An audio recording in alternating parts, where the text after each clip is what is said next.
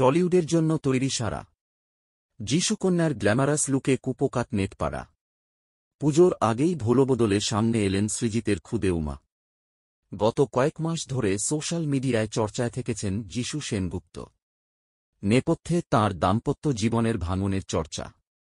যিশু নীলাঞ্জনার দুদশকের বিয়ে ভাঙছে এমনই কানাঘুষ।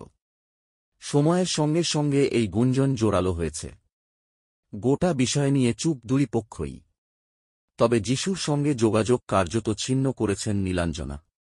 শুধু তাই নয়, বাবার সঙ্গে দূরত্ব তৈরি হয়েছে দুই মেয়ে সারা ও জারার যিশুর বড় মেয়ে সারাকে সৃজিতের উমা হিসাবে পর্দায় দেখছে দর্শক।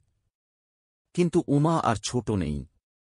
দুর্গাপুজোর ঠিক আগেই একদম নতুন রূপে সামনে এলেন সারা সেনগুপ্ত।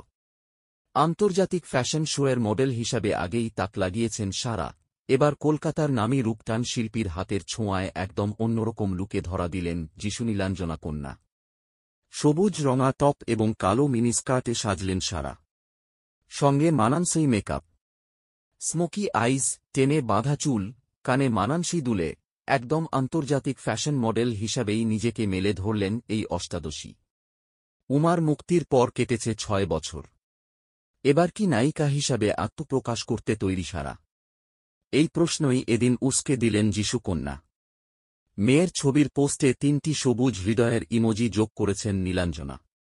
সারার মাসিমনি অভিনেত্রী চন্দনা শর্মা থেকে অভিনেত্রী সুস্মিতা চট্টোপাধ্যায় সারাকে প্রশংসায় ভরিয়েছেন। যিশুর তরফে অবশ্য কোনো প্রতিক্রিয়া আসেনি।